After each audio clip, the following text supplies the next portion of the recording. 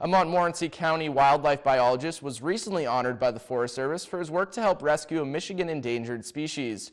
Phil Huber of Lewiston, Michigan was given the Outstanding Partner Award for serving 23 years on the Kirtland Warbler Recovery Team with the Huron-Manistee National Forest Service.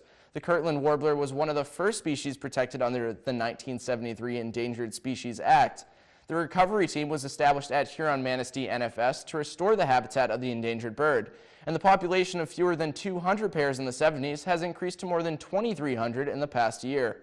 Huber received this special recognition at the recovery team's final meeting just over a week ago, and the bird has been recovered to the point that it may be removed from the list of endangered species. However, the Forest Service will continue with the management of the songbird's habitat.